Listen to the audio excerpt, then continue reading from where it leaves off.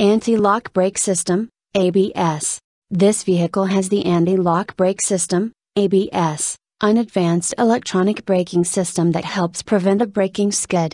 When the engine is started and the vehicle begins to drive away, ABS checks itself. A momentary motor or clicking noise might be heard while this test is going on, and it might even be noticed that the brake pedal moves a little. This is normal. If there is a problem with ABS, this warning light stays on. If driving safely on a wet road and it becomes necessary to slam on the brakes and continue braking to avoid a sudden obstacle, a computer senses that the wheels are slowing down.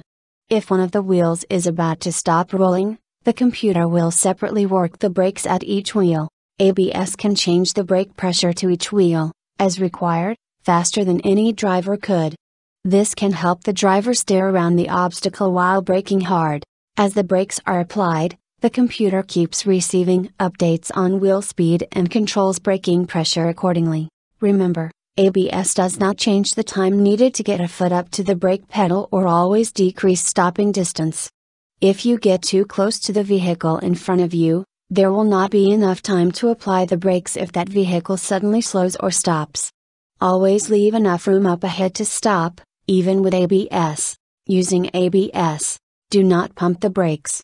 Just hold the brake pedal down firmly and let ABS work.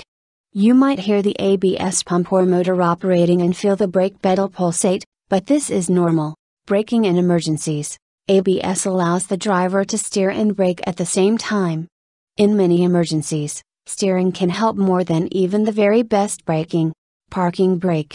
To set the parking brake, hold the regular brake pedal down, then push the parking brake pedal down. If the ignition is on, the brake system warning light will come on. Notice, driving with the parking brake on can overheat the brake system and cause premature wear or damage to brake system parts.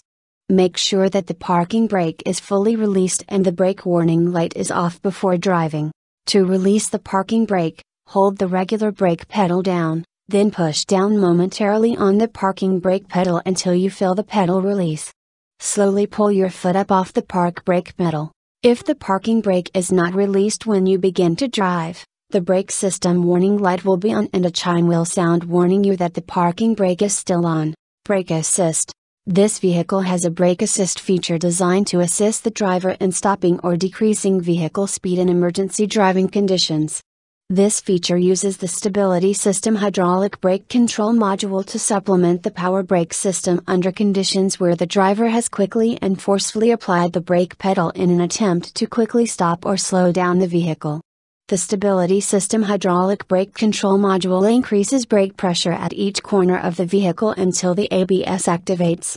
Minor brake pedal pulsation or pedal movement during this time is normal and the driver should continue to apply the brake pedal as the driving situation dictates.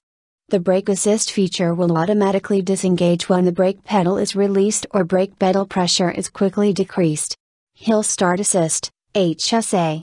This vehicle has a Hill Start Assist, HSA, feature, which may be useful when the vehicle is stopped on the grade.